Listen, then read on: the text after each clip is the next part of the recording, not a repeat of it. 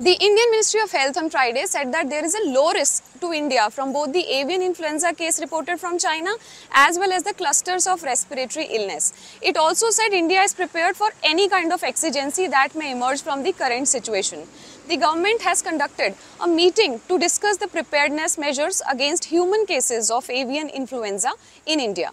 Avian influenza or bird flu is a highly contagious viral disease that can be found in both domestic and wild birds.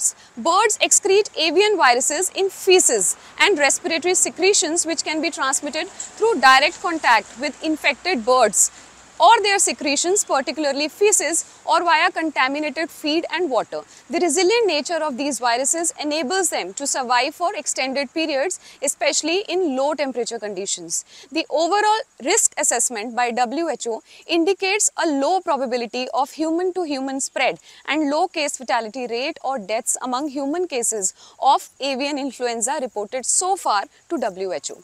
The Indian Health Ministry emphasizes the necessity to enhance surveillance in human, animal husbandry and wildlife sectors underlining the importance of improved coordination. The press release affirms India's readiness to address any public health emergency.